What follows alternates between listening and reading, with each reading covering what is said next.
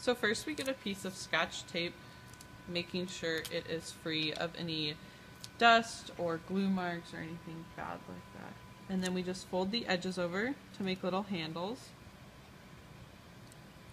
Like so. Then we take the flakes of graphite and we want to put about two or three on the edge of the tape.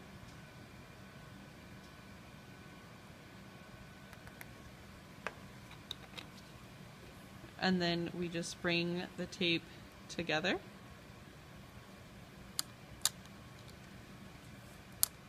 Until it is even evenly spread across the tape.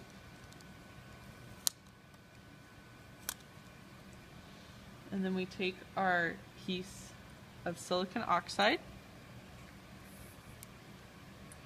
lay the tape right on top,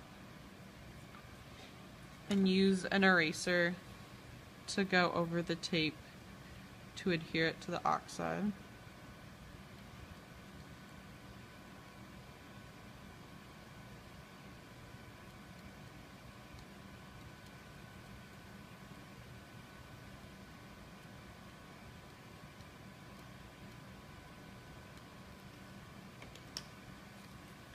Then we peel off the tape at a low contact angle.